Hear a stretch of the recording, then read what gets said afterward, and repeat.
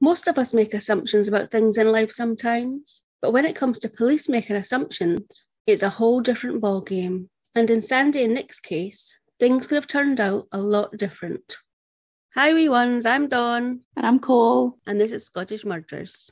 Alexander Drummond, or Sandy as he preferred to be known, had always wanted to be an engineer, so he joined the army thinking that an army apprenticeship would be the best route to achieve this goal. When he was 18 years old, he joined Blackwatch. For 18 months, this decision appeared to have paid off. However, then things changed, and Sandy was sent to Northern Ireland, where he spent the remainder of his time in the army. Upon leaving the army, after three years, Sandy went to stay with his parents before moving into a cottage nearby in Boar Hills with his brother James.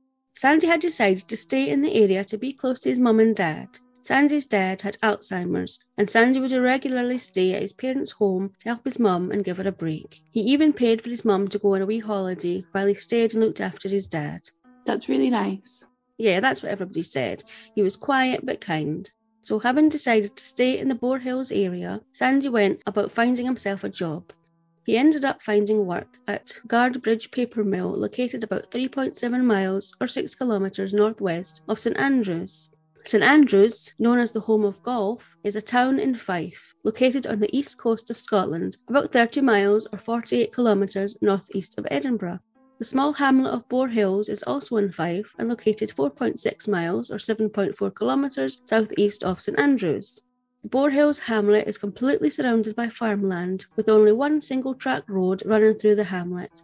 Back in 1991, it was thought to have about 80 residents living there. Sandy seemed to enjoy his job at the mill, and he was known as a good worker. He generally seemed to be quite happy in life, enjoying going for rides on his motorbike or going for runs in the countryside. But then in about March 1991, when Sandy was 33, things started to change. Sandy started to change. Sandy's mum said that he'd always been a carefree kind of man, not letting things get him down, but she said he started to become troubled, worrying about something, and it all began around the time he was transferred to a new department at work. Sandy's mum would ask him what the matter was, but he refused to tell her.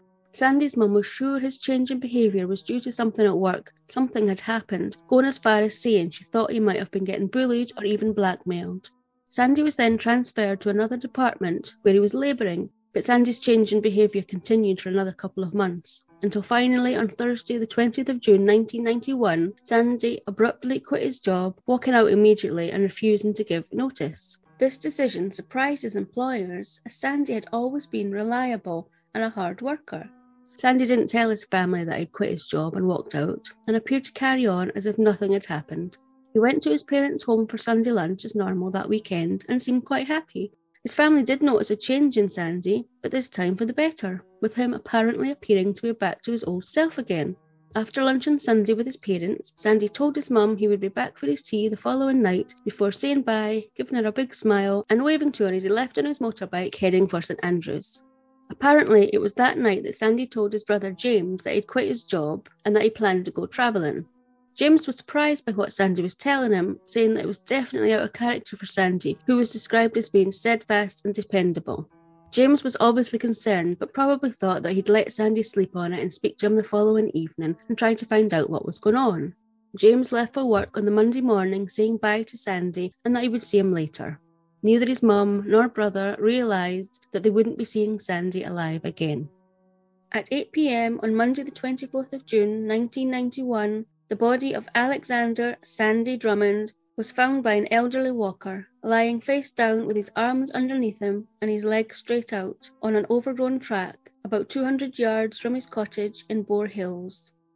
The senior police officer from Fife Constabulary, who was first on the scene, was initially suspicious due to the positioning of the body.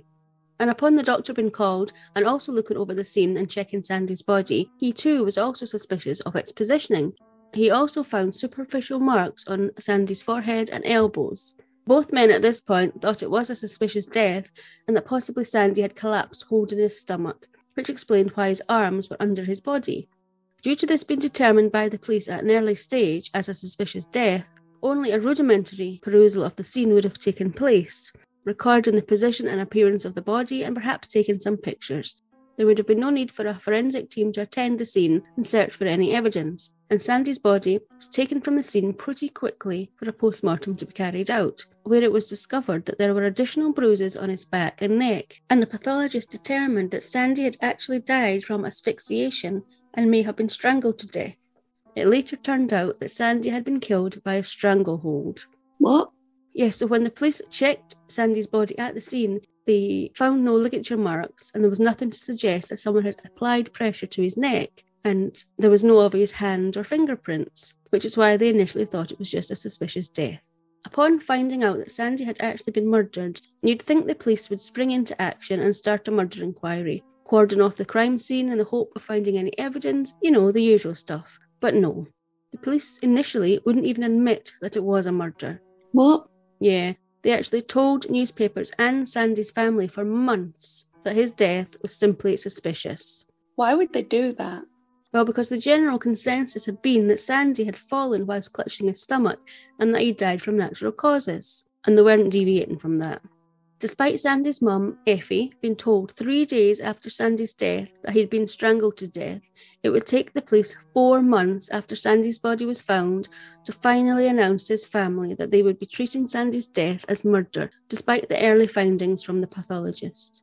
It would take a further four months after that before the public was made aware of this fact, as well as the strange circumstances leading up to Sandy's death when a reconstruction was carried out on TV, which resulted in a few calls, but unfortunately no leads.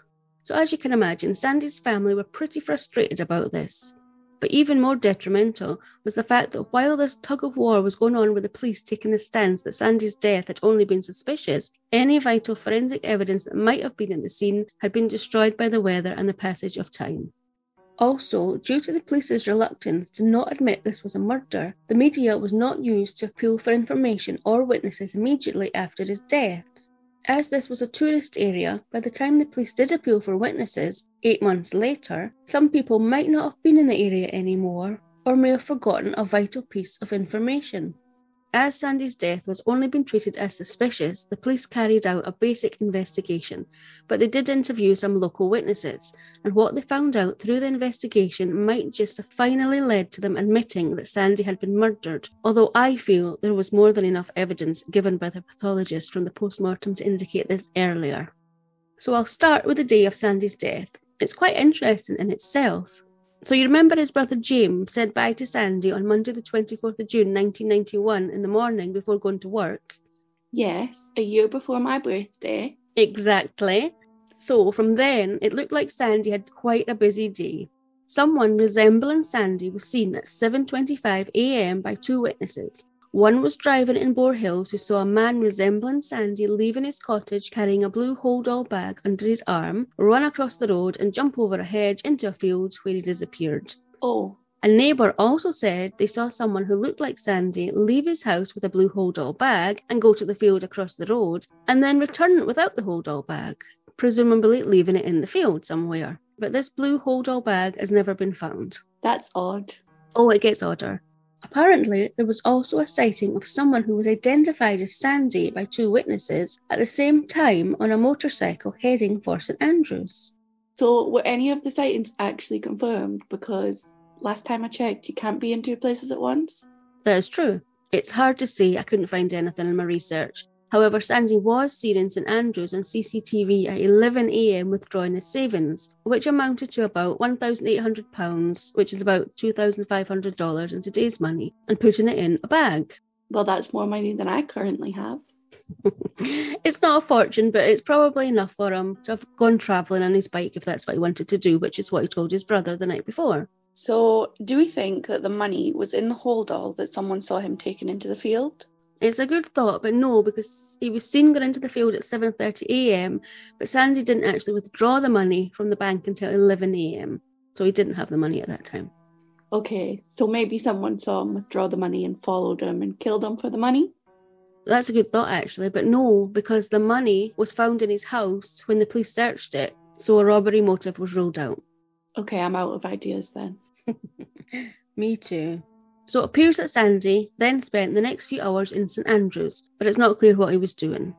The next time Sandy may have been sighted was by a witness at 2 pm at a caravan holiday park, which is a five minute drive outside of St Andrews and located on the same road Sandy would have taken to go back to his cottage in Boar Hills, which was another eight minute drive from the holiday park. What was he doing there? Honestly, I don't know. I couldn't find this out at all. Maybe meeting somebody? Well, do you know how long he was there for? Again, I don't know. I couldn't find anything. However, a witness did place him there definitely at 2 pm and he wasn't seen again until about 4 pm. All right, so no more than a couple of hours. Exactly. However, in the meantime, at about 2:30 p.m., a man was seen getting on a bus on the main road not far from Sandy's cottage and getting off in St Andrews, and he was holding a blood-stained handkerchief. Now, police did ask for this man to come forward to be eliminated from their inquiries. Once, of course, the police finally notified the public, but the fact that Sandy had been seen alive at 4 pm and that there was no blood at the crime scene, the police weren't even sure if this man had any connection to the murder or not. Either way, this man was never traced.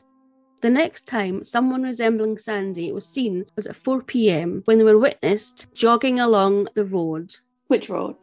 it's not clear exactly. It could be the road leading from the holiday park where he was seen at 2 pm, but why would you leave his motorbike there? I guess it could have broke down. Well, maybe, but there's no mention of that. Or it could mean he was jogging along the road near his cottage in Boar Hills. It's very sketchy, to be honest. Then he was seen again by a witness, this time definitely in Boar Hills, about 7 pm. Okay, and his body was found at 8 pm. Correct. So, whatever happened to him must have happened within that hour. Exactly. When Sandy's neighbours were questioned by the police around if they saw anything suspicious that day, something of interest was revealed. Apparently, about 5 pm, an hour after Sandy was seen jogging along the road, an orange or red car was seen parked outside Sandy's bungalow, and two men were seen in his living room. From witness statements, it was identified that this same orange or red car had been spotted outside Sandy's cottage on numerous occasions on the days before his death. Another witness reported seeing a red car reversing near where Sandy lived at 7:15 p.m. on the day of his death. But then another witness reported that also at 7:15 p.m. they saw two men get out of a silver Renault or Vauxhall car and run in the direction of where Sandy was found. And Sandy's body was found 45 minutes later. Yeah. So the red or orange car seen outside Sandy's cottage was later identified as being a red or orange Morris Marina. We'll put a picture of it on our website. Again, despite appeals for information about the owner of this car or the owner of the silver car seen in the vicinity, just like the man on the bus with the bloodied handkerchief, nobody ever came forward to say they owned either car or had visited Sandy that day or on the days leading up to his death. Although, of course, again, this appeal wouldn't be made until much later. The man with the bloody handkerchief not coming forward, I kind of understand. Maybe he just didn't want to be involved in the whole thing. But this distinct orange car parked outside Sandy's house on numerous occasions, and the owner had most likely been inside his cottage.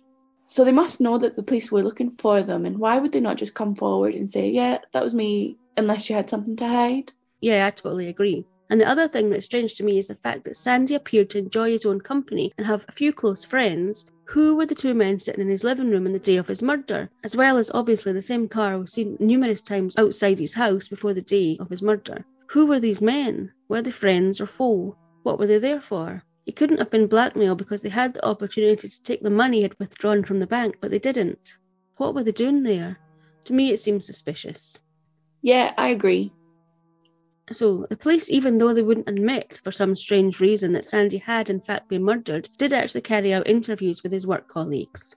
Oh, that's interesting. Maybe we'll find out why he changed apartments twice. And maybe why his mum thought he was worried about something. Well, from interviewing every one of his work colleagues, they found out exactly nothing. Oh, what? Yeah. Apparently, all his former colleagues at the paper mill said Sandy was a quiet man, a hard worker, and he appeared to be well liked by everybody. So, why did he have to change departments then? No idea. It's not detailed anywhere. It's just another question that's not answered. So, did any of his work colleagues have an orange or red, what did you say it was? Morris Marina? Yeah, that would have been my first question too, but again, it's not reported anywhere. But I have to guess that they didn't, as the car was never traced. However, as the police were still adamant at this time that it was simply a suspicious death, maybe they didn't ask the right questions, didn't put two and two together, didn't dig deep enough, as maybe it was just being treated as a cursory inquiry at this time. Had they treated it as it should have been treated as a murder inquiry, then perhaps any evidence, such as the orange Morris Marina, could have been found quickly, instead of giving the killer or killers time to dispose of this, which police later stated they felt the car was likely to have been disposed of. Now, Sandy's army colleagues were also interviewed too, but again, nothing of note came from this, and nobody had a bad word to say about Sandy. Sandy was, as far as could be made out, a likeable, kind, caring, quiet guy who appeared to have no enemies. I feel as if it's something to do with his work, because everything seemed to be fine in his life until he moved apartments, and then his behaviour changed. I think that's what the police thought too, as he had been at the paper mill for seven years and his behaviour only started to change a few months before his death. It had to be connected somehow. Yeah, and he quit his job a few days before his murder. Exactly. The timing fits. Anyway, following the police interviewing everyone and making their appeals and getting absolutely nowhere, they were able to determine that there was definitely something strange going on in Sandy's life. What with quitting his job and withdrawing all his savings, but they just didn't know what, and their investigation turned up nothing.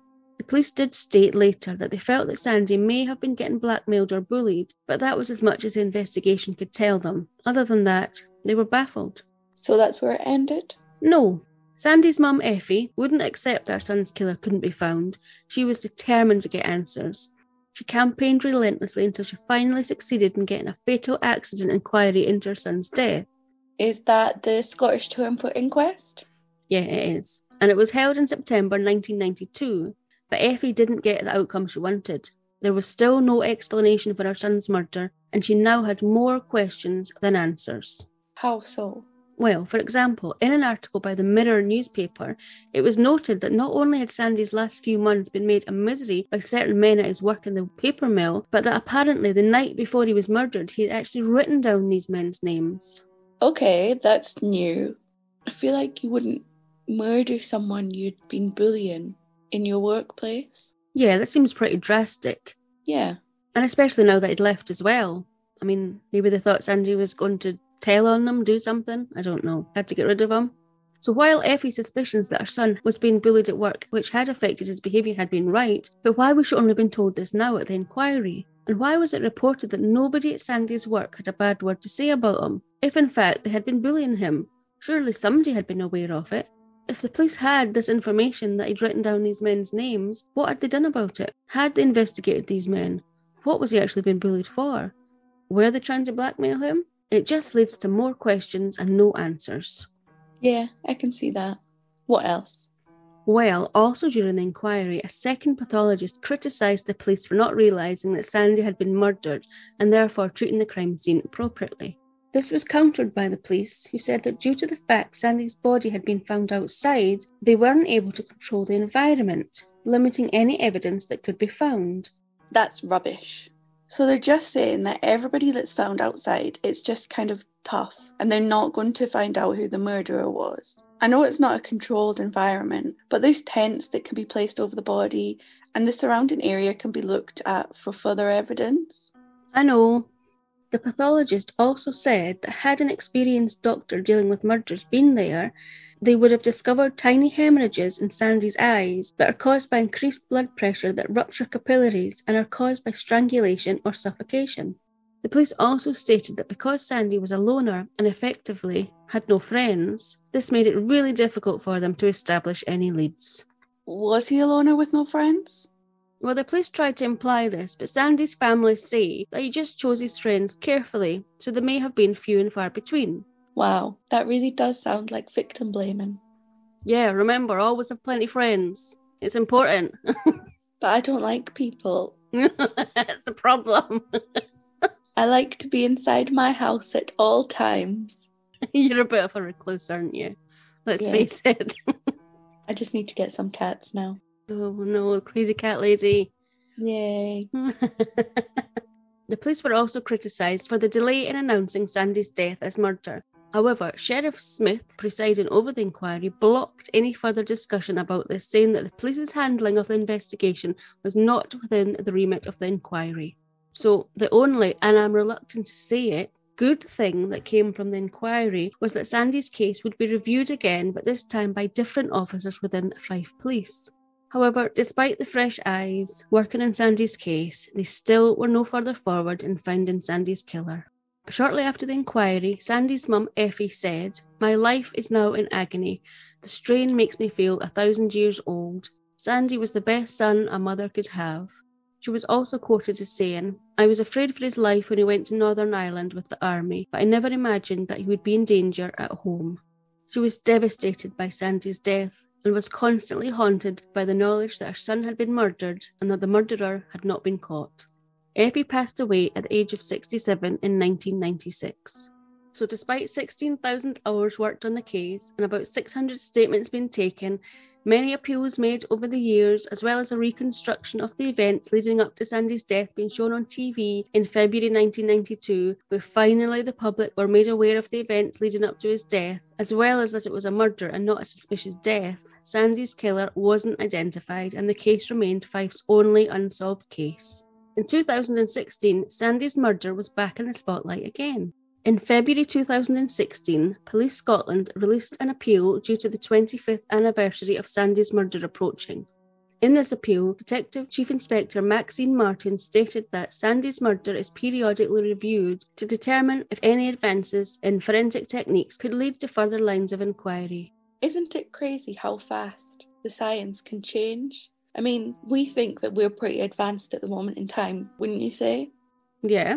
But think about how far we've come in the last 20 or 30 years. Like what the world's going to look like in 20 or 30 more years' time. Yeah, I wonder what technology we haven't discovered yet. That's more interesting. Maybe you could scan the body and get an image of the human. You're getting very technical now. Do you know that they can take your hair from your body, off your head, wherever, and they can find out where you came from based on the like the minerals that are left in your hair. Mm. Do you know That's- that? No, I didn't know that. That's interesting. So people can find out where you lived. That's really cool, isn't it? Yeah. She went on to say that the passage of time is no barrier to providing answers for the families of murder victims in Scotland, and she hoped that Sandy's killer could be brought to justice before she appealed for anyone with new information that could assist in the investigation into Sandy's murder to contact the police.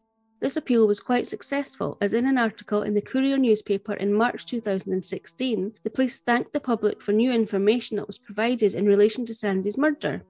Detective Chief Inspector Maxine Martin said that the new evidence was being reviewed, but she believed that the answers to Sandy's death lie in the local community. However, since this time, no new developments, if any, have been reported.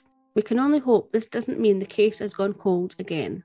Then, three months later, in June 2016, exactly 25 years after Sandy was killed, an article appeared in the Courier newspaper saying that investigative journalist Mr. Mulford had apparently laid eyes on paperwork suggesting that police had identified Sandy's killer. Okay, so was this on the back of the information the police had received following their appeal in February 2016? Well, I don't think it was. From what I've read, it appears that this may have been from several years prior. They had identified Sandy's killer a few years prior to the appeal, but nobody had ever been arrested. Well, that's what it looked like. The investigative journalist told the Courier newspaper in 2016 he had unearthed evidence that the police had identified a serious suspect following a previous cold case review years earlier, but then when police had gone to question the suspect, it turned out they were already dead. Oh. I've actually read some reports that the suspect may have been murdered himself. So the police have identified a suspect, and that suspect's dead, but the case is still open. Yes. Apparently, Mr. Mulford believes the case has been kept open and is still being reviewed by the cold case team, as there may have been others involved. Remember that there were two men seen in Sandy's living room on the day he was murdered. Maybe they suspect the dead man carried out the murder, but there may have been others around, or others who knew what had happened. Maybe they were behind Sandy's change in behaviour, or that the dead suspect didn't actually murder Sandy but was involved somehow, and maybe he was killed to shut him up. There's just so many questions about this case, so much speculation about what is going on and what did go on back in 1991. So, did the police ever say anything about what the investigative journalist said, or has there ever been any new leads? Well, at the time of the newspaper report coming out from the investigative journalist, Police Scotland were pretty tight lipped. They refused to discuss if what Mr. Mulford said about them having a suspect in the murder, dead or otherwise, was correct or not.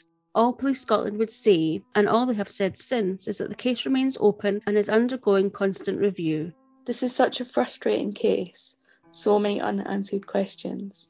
And the fact that it was ruled initially as a suspicious death just doesn't seem right. I agree, it's just really frustrating this case. If you have any information on the murder of Sandy Drummond, please contact 101 or Crime Stoppers on 0800 555 111 if you live in the UK. So, my story was from 1991. Surely, in the intervening years, lessons would have been learnt and assumptions wouldn't have been made so hastily. Am I right with your story, Cole? Wrong. Oh no. Go on then. In April 2005, Nicholas Randall, who preferred to be called Nick, was 30 years old. He had been suffering with mental health issues and had recently been signed off work sick. Nick had moved to the northeast of Scotland, to Aberdeen, from Edinburgh, where he had a job as a town planner. Nick had suffered with depression on and off for years, but in early 2005, he had been signed off work due to stress related depression, and he had decided to go and stay with his parents, who lived a few miles west of Edinburgh. Nick had been diagnosed with a form of dyslexia affecting the left side of his brain, governing comprehension. Nick was apparently happy with this diagnosis as it helped explain some of the causes for him feeling low. At this time, he was said to be in good spirits so much so that he had attended a wedding with his parents, where he had appeared brighter and engaged with others better than his parents had expected. However, just a few days later, on the 25th of April 2005, something apparently changed, as just after breakfast, Nick left his parents' home, drove to Edinburgh city centre in his silver Audi A2, where he bought a sleeping bag and withdrew £500, or just under $700, before simply vanishing. This was the last time his bank account had been touched. Meanwhile, back at his parents' house, his mum had thought it was a good sign that Nick had gone out, thinking that he'd probably head for the city centre for a bit of shopping, which he did, of course. She wasn't to know that she had seen her son for the last time. So Nick's parents weren't initially concerned when Nick didn't appear back for tea, but as the night grew dark, they started to fear the worst. They began to ring round all his friends asking if they had heard from him, but no one had. One of Nick's friends, Liz, said that she was completely surprised by his disappearance, saying he was a really nice guy with everything going for him. Time passed without any sighting or word from Nick. His 31st birthday came and went in May, and still there was no word about his whereabouts. It wouldn't be until July, three months after Nick vanished, that finally there was a breakthrough. Nick's silver Audi car was found in a car park near the town of Fort William, which is located on the eastern shore of Loch Linnhe in the Scottish Highlands. This is also about a three hour drive northwest of Edinburgh. Fort William is best known for hill walking and climbing, due to it being close to the mountains of Glencoe and Aonach Mor, as well as Ben Nevis, which is the highest of the famous Munro Mountains. It just so happened that Nick had been a member of a hill walking group and was experienced in climbing and hiking. He had in fact climbed many of the Munro Mountains. When his car was found in July, the police concluded that Nick had been living rough in the hills of the surrounding area. Also, over the summer of 2005, there were other sporadic sightings of Nick in this area, as well as being spotted in an area two hours away from where his car was found. A worker at a caravan park advised that Nick had asked if he could pitch a tent. It was thought that he was just walking and climbing and roaming about aimlessly, living rough. However, then the sightings just stopped and his family and friends started to fear the worst. Was there any reason why Nick had just left his parents so abruptly and headed to the Highlands? Well, remember, he did have depression, and having depression can sometimes make you unpredictable, so that could be a reason. Yeah, that is true. His friend Martin also gave a wee insight into what Nick might have been thinking. He said that Nick hated being on his own, but because of his depression, he also felt he was a burden to everyone, especially his parents. Oh, that's sad. But that might have explained why he disappeared. You might have thought that him disappearing might make life easier for his parents. It was a theory, yeah. Obviously, that wasn't the case. Of course not. His parents were heartbroken by his disappearance. In April 2006, a year after Nick left his parents' home for the last time, his parents made an appeal for any information about Nick's whereabouts. His dad, Bill, said, My worst fear is that he turned his back on life, not eaten, and his body went downhill, and he might be lying somewhere in a wood. He went on to say that he would love to see Nick again, to hug and to kiss him, his parents both remembered Nick as being a happy person, smiling, and had a sensitive nature. Nick's mum, Esme, did insist that Nick wasn't suicidal when he left. The appeal generated no new information, no more sightings of Nick were reported, and the case went cold. Bill and Esme would have to wait a further two years of not knowing what happened to their son before their worst fears would finally be realised. On the 14th of March 2008, badly decomposed remains of a body were said to have been found in a pitch tent by forestry workers near Bridge of Orchy, about 43 miles or 69 kilometres from where Nick's car had been found. It would be confirmed on the 26th of March, after forensic tests were carried out, that the remains were in fact that of Nicholas Randall. There is a famous walk called the West Highland Way that runs from Fort William to Milngavie which is just north of Glasgow, and Bridge of Orchy is on this walking route. It is thought that Nick had been walking along this route but had deviated off into a nearby forest in order to set up his tent. When the remains were found, the area was cordoned off. A forensics team was called in and evidence was collected, and photographs of the scene were taken. Upon Nick's remains being found, it was quickly assumed by investigators that Nick had probably died of hypothermia. This assumption wasn't deviated from following the post-mortem being carried out, as due to the advanced stage of decomposition, the cause of death could only be determined as unascertained. Due to this belief, after six days of Nick's remains being found, the police ruled that there were no suspicious circumstances in the death, making an official statement on the 26th of March confirming these details and stating the case would now be closed. The statement was followed by one from the family which read, We would like to thank the Missing Persons Unit of Lothian and Borders Police for all their assistance and kind support over the last three years. We also thank the press for publicising our son's disappearance. Now that his body has been found and recovered, we ask that the media leave us to grieve in peace.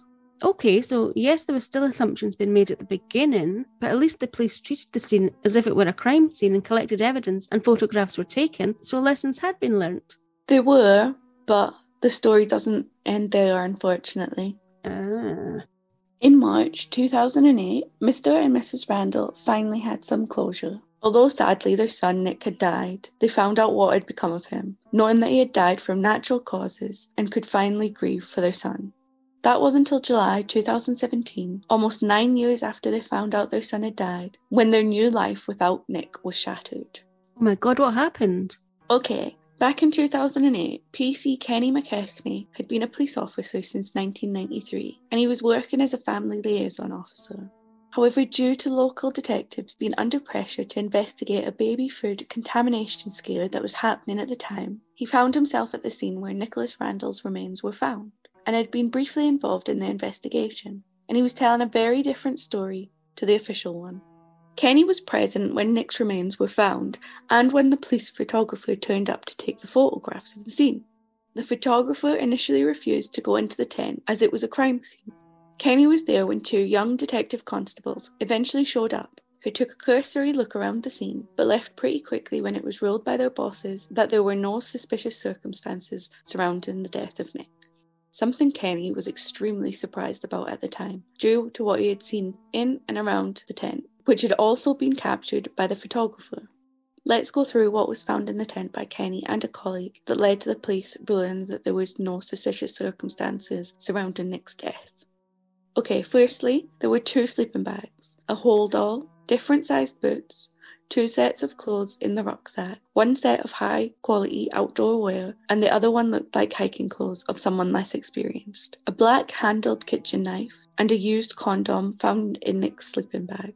So that suggests to me straight away that there were two people staying in that tent. Yes, that's what it says to me too.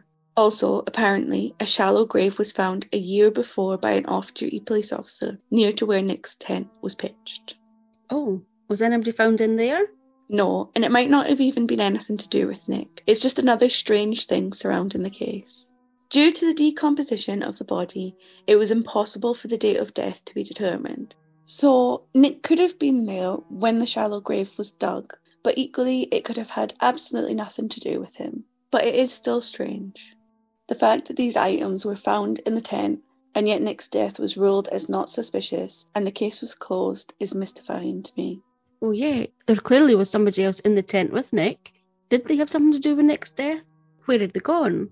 And why hadn't they taken all their things with them? There were just so many unanswered questions at this stage. I can't understand what police were thinking. How could they possibly think that Nick would have random sizes and types of clothes and boots with him? It makes no sense. Plus, he'd not have been able to carry all the equipment, shoes, and clothes that were inside the tent by himself, as well as the tent itself, by himself from where his car had been found, 43 miles or 69 kilometres away. Surely the rationale was that he had met someone and that they'd been walking together and decided to pitch the tent and stay together there too. Yeah, that sounds logical to me.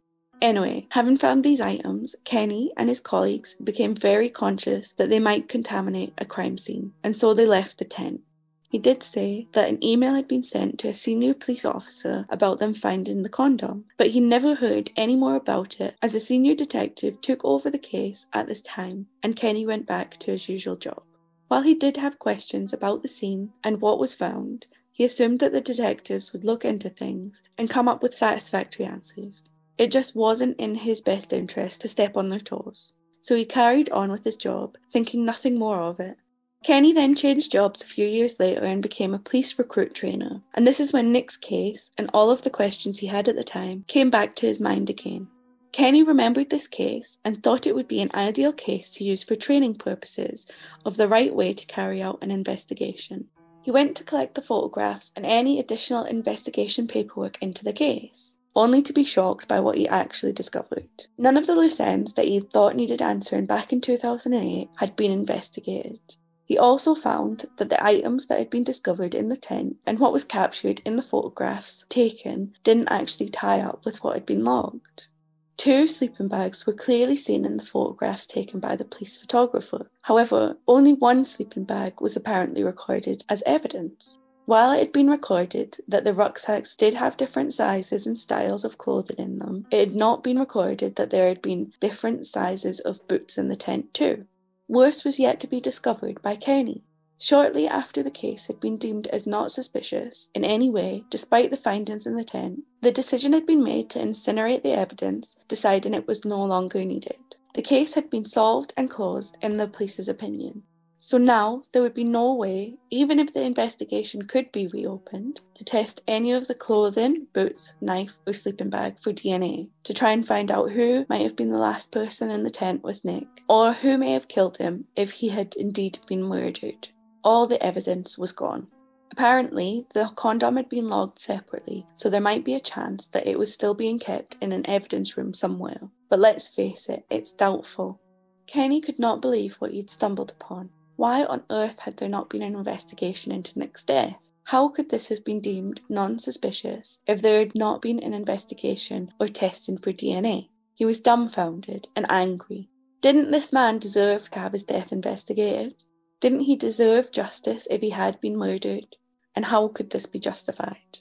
Having served as a respected police officer for 21 years, in 2014, Kenny McKechnie left the police force as he'd become disillusioned by it. Finding out how Nick's death had been investigated, or not fully investigated, as the case may be, was just one in a long line of things that led to Kenny leaving the police. A bit acrimoniously, it might be said. It would be a further three years before Kenny finally went public and made the allegations into the standard of policing in the case of Nicholas Randall's death and called for an investigation to be carried out. He also stated that he felt Nick's death had been deemed not suspicious as there was not enough money or resources to launch a murder investigation. Following the allegations by Kenny, Detective Superintendent Callum Young made a statement saying that a thorough investigation was carried out by a team led by a detective inspector and included forensic specialists and a post mortem examination. He went on to say that there was no information at the time to suggest the death was suspicious. Should anyone have any information about the death, I would ask them to call the police at Dumbarton on 101 and it will be followed up. It was stated that the evidence found in the tent did not suggest a suspicious death. The police's internal professional standards department were asked to look into how the officers back in 2008 dealt with the findings inside the tent. However, upon the conclusion of the investigation, the findings were that they agreed with the detectives from 2008, and their conclusion was that there was no suspicious circumstances surrounding Nick's death. What? Well, that is so frustrating. Yeah, Kenny felt the same when he found out. However, Kenny wasn't alone in his thinking by this time. A member of the Scottish Parliament, Liam Kerr, said that he too felt the death seemed highly suspicious, agreeing that the findings after the new internal investigation were startling. His thoughts seemed to be with the Randall family, who continued to be at the centre of this, and who only ever wanted to know the truth about what happened to their son. So much so that in 2018, Liam Kerr had asked Lord Advocate James Wolffe, QC, to review the case notes in relation to Nicholas Randall's case, as he felt strongly that most people reading reports on this case would agree that there appears to be more to it. According to Wikipedia, the Lord Advocate is the chief legal officer of the Scottish Government and the Crown in Scotland for both civil and criminal matters. Okay, so one of the top guys. Yeah, definitely. Unfortunately, though, that was in 2018, and there has been no further information about the outcome or the progress of the investigation. But if anything is found out, we will update you. Okay, well, at least we know it's been looked into and that it's not just been brushed under the carpet again. Yeah, that's true. Although Kenny did leave the force under a cloud, and clearly there had been some bad blood, but he said his feelings towards the police had nothing to do with him coming forward now and telling his side of the story. He said he did it because he thinks Nick's parents deserve to know the truth. Regardless of Kenny's motivations, it is clear from the photos taken by the police photographer that there is more to this story than was initially told.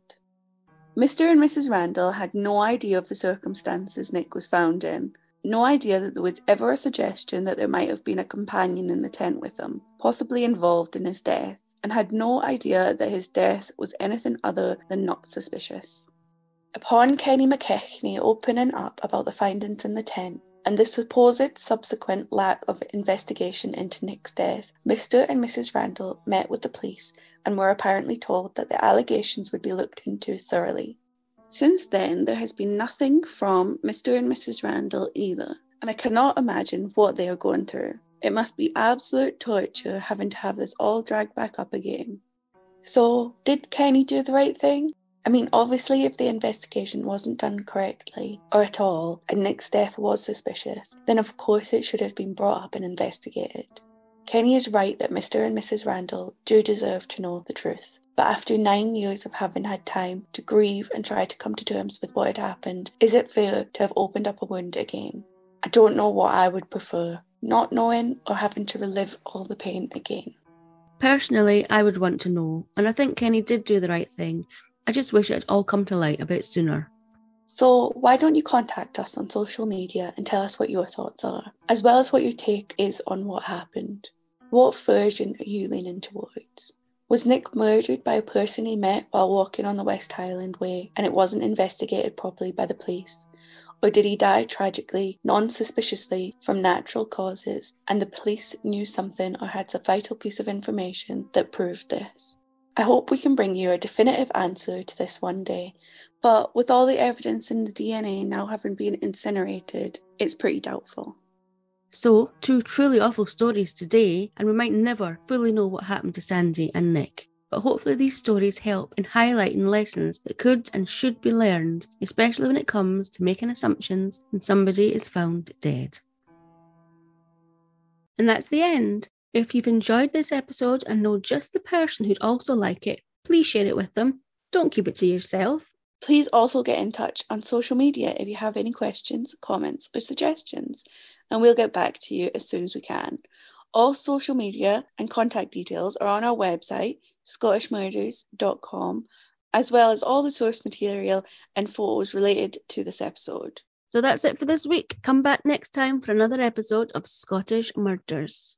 Join, us there. Bye. Scottish Murders is a production of Cluarantonn.